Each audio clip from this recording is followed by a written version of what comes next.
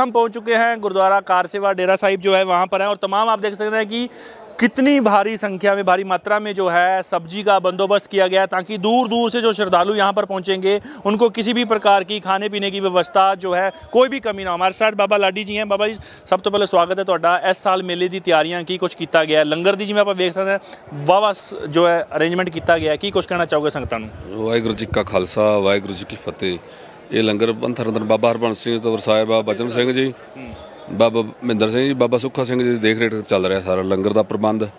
ਜੀ। ਜਿੰਨਾ ਵੀ ਹੈ ਤੇ ਹੋਰ ਵੀ ਆਪਣਾ ਰਿਹਾਇਸ਼ ਦਾ ਪ੍ਰਬੰਧ ਇਹ ਸਭ ਉਹਨਾਂ ਦੀ ਦੇਖ ਰੇਖ ਚੱਲ ਰਿਹਾ। ਸਭ ਸਭ ਲੰਗਰ ਦਾ ਪ੍ਰਬੰਧ ਵਧੀਆ ਕੀਤਾ। ਕਿੰਨੇ ਕੁ ਸੰਗਤਾਂ ਆ ਜਾਂਦੀਆਂ? ਜੇ ਅਨੁਮਾਨ ਲਗਾ ਜਿਵੇਂ ਤੁਸੀਂ ਲੰਗਰ ਦੀ ਵਿਵਸਥਾ ਕਰਦੇ ਹੋ ਕਿੰਨੇ ਕੁ ਮਤਲਬ ਸੰਗਤਾਂ ਦੇ ਹਿਸਾਬ ਨਾਲ ਤੁਸੀਂ ਸੰਗਤਾਂ ਦਾ ਮਤਲਬ ਕੋਈ ਅਨੁਮਾਨ ਨਹੀਂ ਹੈ ਹਿਸਾਬ ਕਿਤਾਬ ਨਹੀਂ ਹੈ। 24 ਘੰਟੇ ਲੰਗਰ ਤਾਂ ਵੈਸੇ ਹੀ 24 ਘੰਟੇ ਚੱਲਦਾ ਰਹਿੰਦਾ ਇੱਥੇ। ਤੇ ਹੁਣ ਵੀ 24 ਘੰਟੇ ਚੱਲਦਾ ਹੁਣ ਥੋੜੀ ਦੇਰ ਚੱਲੀ ਜਾਂਦਾ ਬਸ। ਜਿਹੜੀਆਂ ਪੰਜਾਬ ਹਰਿਆਣਾ ਜਾਂ ਹਿਮਾਚਲ ਕਿਤੇ ਬਾਹਰ ਦੀਆਂ ਜੋ ਸੰਗਤਾਂ ਦੇਖ ਰਹੀਆਂ ਨੇ ਉਹਨਾਂ ਨੂੰ ਕੀ ਕੁਝ ਅਪੀਲ ਕਰਨਾ ਚਾਹੋਗੇ? ਵੱਧ ਤੋਂ ਵੱਧ ਸੰਗਤਾਂ ਪਹੁੰਚਣ ਪੂਰੇ ਐਤਕੀ ਤਿਆਰੀਆਂ ਕੀਤੀਆਂ ਗਈਆਂ ਨੇ 2023 ਦੇ ਵਿੱਚ। ਹਾਂਜੀ ਤਿਆਰੀਆਂ ਪੂਰੀਆਂ ਨੇ ਸੰਗਤਾਂ ਆਉਣ ਦਰਸ਼ਨ ਦੇਣ ਕਰਨ ਦਰਸ਼ਨ ਮਿਲੇਗਾ ਆ ਕੇ ਗੁਰੂ ਸਾਹਿਬ ਦੇ ਦਰਸ਼ਨ ਗੁਰਦੁਆਰਾ ਸਾਹਿਬ ਦੇ ਹੋਰ ਵੀ ਜੋ ਵੀ ਸੰਗਤਾਂ ਪ੍ਰਬੰਧ ਪੂਰੇ ਕੀਤੇ ਗੁਰੂ ਸਾਹਿਬ ਦੀ ਕਿਰਪਾ ਨਾਲ।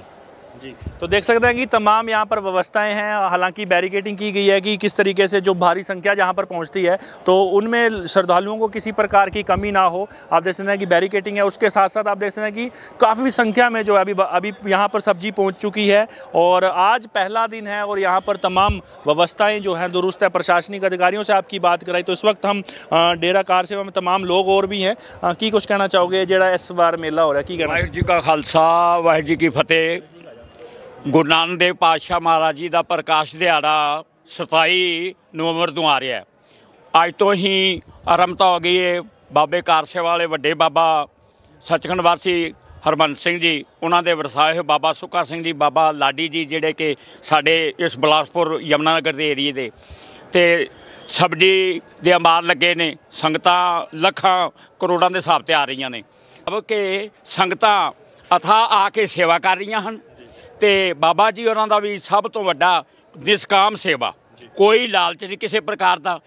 ਬਿਲਡਿੰਗਾਂ ਬਣਾਉਂਦੇ ਇੰਨੇ ਨੇ ਵੱਡੇ ਮੰਦਿਰ ਗੁਰਦੁਆਰੇ ਬਣਾ ਕੇ ਤੇ ਆ ਸੰਗਤਾਂ ਵੇਖੋ ਕੋਈ ਪੰਜਾਬ ਤੋਂ ਸੰਗਰੂਰ ਤੋਂ ਆ ਰਹੀਆਂ ਨੇ ਕੋਈ ਪਟਿਆਲੇ ਤੋਂ ਆ ਰਹੀਆਂ ਨੇ ਕੋਈ ਉਹ ਦੂਰ ਦੂਰ ਤੋਂ ਆ ਕੇ। ਕਿੱਦਾਂ ਲੱਗ ਰਿਹਾ ਪ੍ਰੋਗਰਾਮ? ਐਤਕੀ ਵਧੀਆ ਹੋ ਰਿਹਾ। ਐਤਕੀ ਪਿਛਲੇ ਸਾਲ ਨਾਲੋਂ ਵੀ ਚੜ੍ਹਦੀ ਕਲਾ ਚ ਹੋ ਰਿਹਾ। ਪੰਜਾਬ ਤੋਂ ਆਏ ਹੋ ਤੁਸੀਂ ਕੀ ਕੁਝ ਕਹਿਣਾ ਚਾਹੋਗੇ? ਹਾਂਜੀ? ਹਰਿਆਣੇ ਤੋਂ। ਆਏ ਹੋ ਇੱਥੇ ਕੀ ਕਿੱਦਾਂ ਕਿੱਦਾਂ ਲੱਗ ਰਿਹਾ ਤੁਹਾਨੂੰ ਇੱਥੋਂ ਦਾ ਬਹੁਤ ਵਧੀਆ ਜੀ ਬਹੁਤ ਵਧੀਆ ਅਸੀਂ ਪਹਿਲੀ ਪਿਛਲੀ ਆਏ ਸੀਗੇ ਇੱਕ ਵਾਰੀ ਹੁਣ ਪਹਿਲੀ ਵਾਰ ਆਏ ਆ ਮੇਲੇ ਤੇ। ਬਹੁਤ ਵਧੀਆ ਜੀ ਪ੍ਰੋਗਰਾਮ ਹੈ ਬਹੁਤ ਵਧੀਆ ਲੰਗਰ ਬਾਬਿਆਂ ਦਾ। ਕੋਈ ਕਿਸੇ ਗੱਲ ਦੀ ਕਮੀ ਨਹੀਂ ਹੈ ਰਹਿਣ ਨੂੰ ਅ, ਪੈਣ ਨੂੰ ਜਗ੍ਹਾ ਵਾਧੂ ਹੈ ਹਰ ਸਾਲ ਆਉਂਦੇ ਤੁਸੀਂ ਨਹੀਂ ਜੀ ਅਸੀਂ ਪਹਿਲੀ ਵਾਰ ਆਏ ਹਾਂ जी ਅਸੀਂ ਹਰ ਵਾਰ ਹਰ ਸਾਲ ਵੀ ਆਉਨੇ ਆ ਬਸ बहुत बहुत धन्यवाद तो तस्वीरें हम आपको दिखा रहे हैं ज़्यादा से ज़्यादा इस खबर को शेयर करें आगे और भी मेले की जो अपडेट्स है वो आप लोगों तक आने वाले दिनों में हम लेकर आते रहेंगे एच के लिए कपाल मोचन से सरनजीत सिंह